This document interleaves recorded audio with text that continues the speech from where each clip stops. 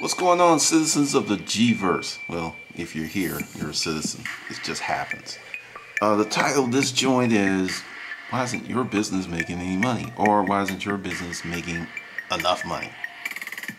Very, very interesting thing. Uh, with my course of 30 days to 2500 bucks, which is free, links below. Um, link for everything that I'm about to talk about is below. Just look for it. Click that box and expand.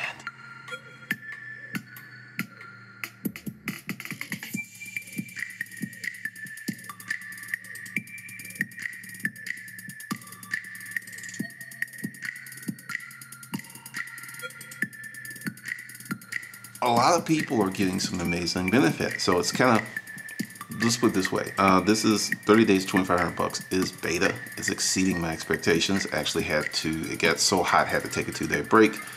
We jump off again tomorrow, 4 p.m. There's a lot of things that are going on with that. I decided to join the fray because I'm currently working on three books right now. I just yeah, three. There was two, and now like I just threw another one in there. The whole thing about 30 days, 2,500 bucks is challenging yourself and moving yourself forward. Which brings up the new book Hustle Hustlenomics, which has been on my to-do list for two years.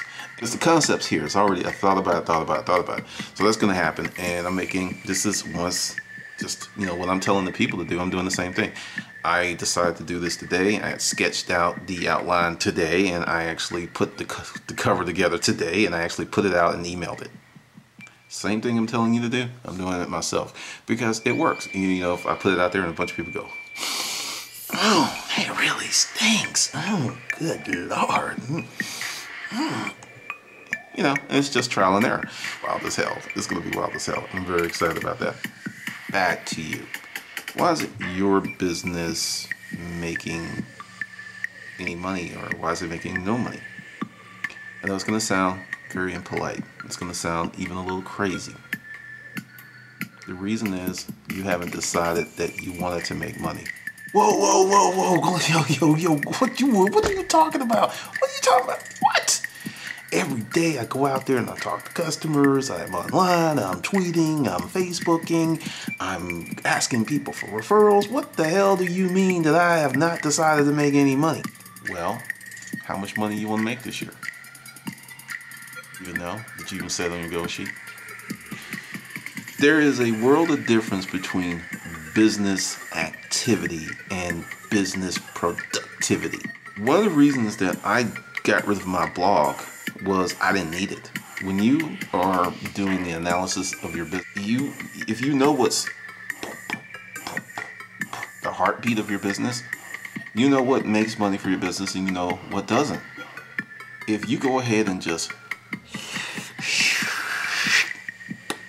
pop that piece of your business out that doesn't make any money, you free up your time to uh, go home and pet Boo Boo the cat or actually take that energy and effort and apply it to a different part of your business to make your business more money. If you're not making any money, you have not decided to make money. Huh, crazy, but I see it all the time. Because this is the thing. And there's this chapter you're to love in Hustlenomics called Why You're a Dumbass and It's Not Your Fault. It's cultural indoctrination.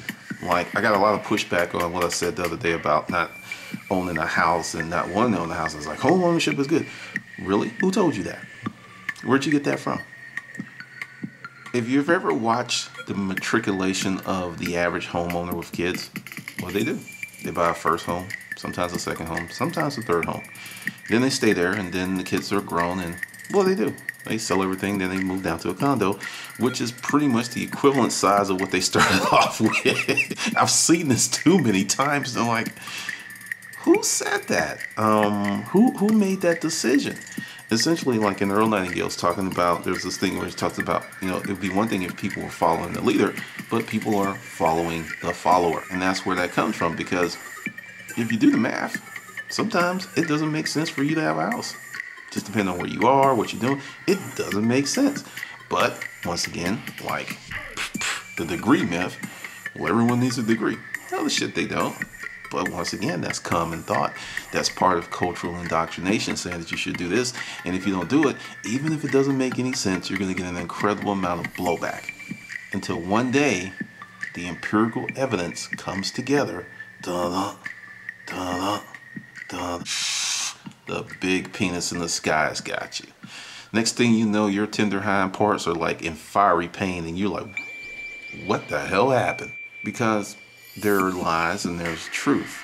Uh, the truth of the matter is, if a tire hits the road at a certain amount of speed, your car will propel forward. That's truth. It's proven. It's scientific fact.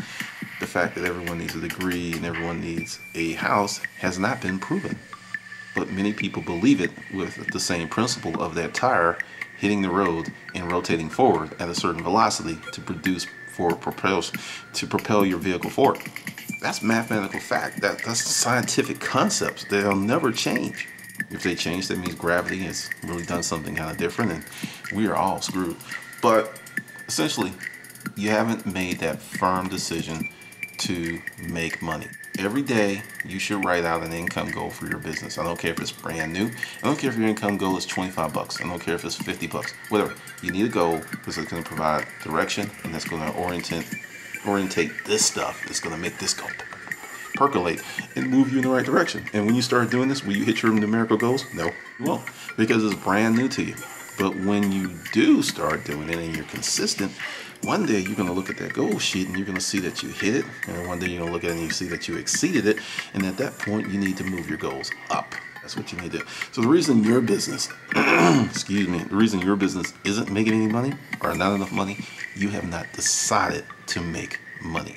You've decided to create a business, you've decided to incorporate, you've decided to do all of these business activities that make you look good because it's like, okay, my girl, she got the incorporation, she's got signed on her car. Doing all of this stuff that does not get to the core of what a business does. Solve problems, serve customers, make products, whatever. That that that place where the rubber meets the road, which is interacting with customers to make money. Doing all of this stuff to avoid that. happens all of the time, all of the funny. Because if you make those decisions and you create those goals and you create those metrics, you'll be driven to a point where you will make money. All right, so that's the deal. Be sure to sign up for Hustlenomics. It's going to be a wild ass ride. Uh, 2014 is going to be crazy. It's going to be crazy. Really, really is.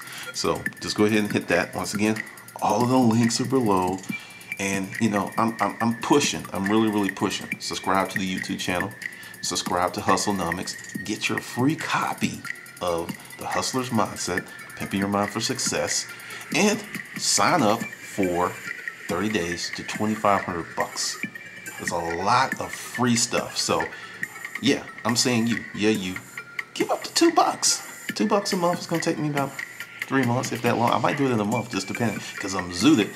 And, uh, let's make the world go round. Let's uh, change the world. Let's do some things differently because if you change you, you change your world. All right, this is Glendon, and I'll see you on the good side.